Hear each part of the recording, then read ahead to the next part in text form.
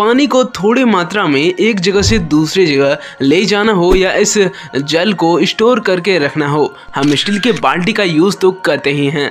पर क्या कभी आपने ये सोचने और जानने की कोशिश की है कि इस रोज़ यूज़ होने वाले स्टील के बाल्टी को आखिर फैक्ट्रियों में कैसे बनाया जाता होगा?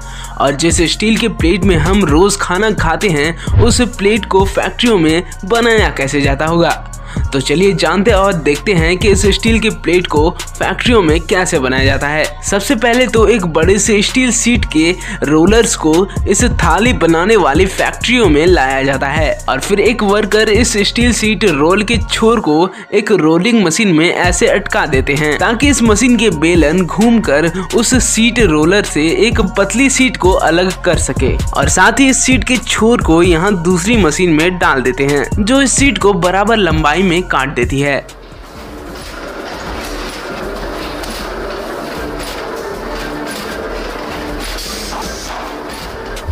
फ्रेंड्स, अब इस काटे गए स्टील सीट्स को एक हाइड्रोलिक मशीन में डालते हैं। दरअसल, इस मशीन में ऊपर की ओर गोल व चौकोर आकार वाले कई कटोरे नुमा सांचे बने होते हैं।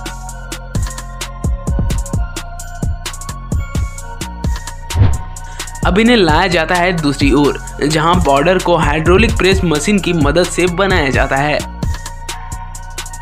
सारे सीटों में ये प्रोसेस हो जाने के बाद अब इनको एक प्रेशर कटर मशीन की मदद से इसके एक्स्ट्रा पार्ट को काट कर अलग कर दिया जाता है। अब यहाँ एक वर्कर प्रत्येक सीट के थाली पर मुहर की मदद से कंपनी के नाम को लिखा जाता है। और सबसे अंत में इन तैयार थालियों को एक केमिकल में डुबो कर निकाला जाता है, जिससे कि इसमें एक खास प्रकार की चमक आ जाती है।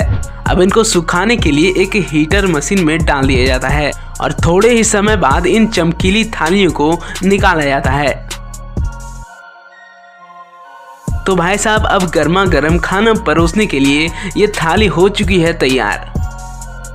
चलिए अब फटाफट देख लेते हैं कि इस एल्युमिनियम के बाल्टी, यानी कि बकेट को फैक्ट्रियों में कैसे बनाया जाता है।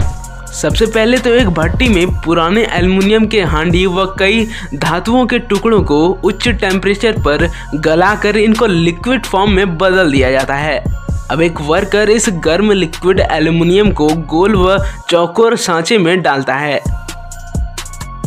अब इनको प्रेस करके एक एल्युमिनियम की पतली चौकोर सीट में तब्दील कर दिया जाता है। और अब यहाँ कुछ वर्कर्स इस चौकोर एल्युमिनियम सीट को गोलाकार भाग में काटते हैं। अब यहाँ इस गोलाकार सीट को एक प्रेशर मशीन की सहायता से एक बड़े पतीले के आकार में बदल दिया जाता है। कुछ ऐसे।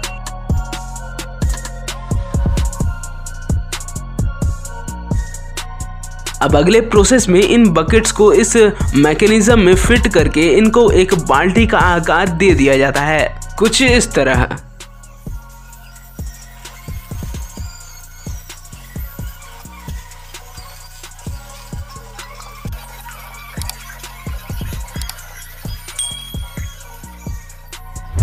और यहाँ मशीन की मदद से इसके बाहरी सतह को हल्का छिला जाता है, जिससे कि इस बकेट पर काफ़ी ज़्यादा चमक आ जाती है।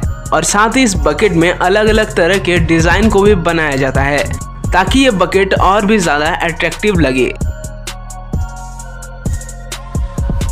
तो अब हमारी बन चुकी है प्यारी प्यारी एल्युमिनियम की बाल्टियाँ। अब इन बकेट्स में हैंडल को भी ये वर्कर्स लगा देते हैं। तो लीजिए जी, बन गई हमारी बाल्टी। प्लास्टिक या फिर मेटल, किससे बना बकेट सबसे अच्छा होता है? हमें कमेंट में ज़रूर बताइएगा। और क्यों होता है, कारण भी ज़रूर बताइएगा। अगर आपको इस वीडियो से थोड़ा सा भी ज्ञान प्राप्त हुआ हो तो इस वीडियो को एक लाइक ज़रूर से कर दें, क्योंकि ये बिल्कुल फ्री है। और ऐसे ही अच्छी अच्छी वीडियोस देखते रहने के लिए हमारे चैनल को अभी लाल बटन दबाकर सब्सक्राइब कर दें और बेल के आइकन को दबाकर ऑल का ऑप्शन भी सेलेक्ट कर लें। और यहाँ तक वीडियो देखने के लिए दिल से धन्यवाद। अब आपके सामने दो वीडियो और दिख रही होगी। दोनों वीडियो काफ़ी ज़्यादा ही अच्छी है। आप इस पर क्लिक करके देख सकते हैं।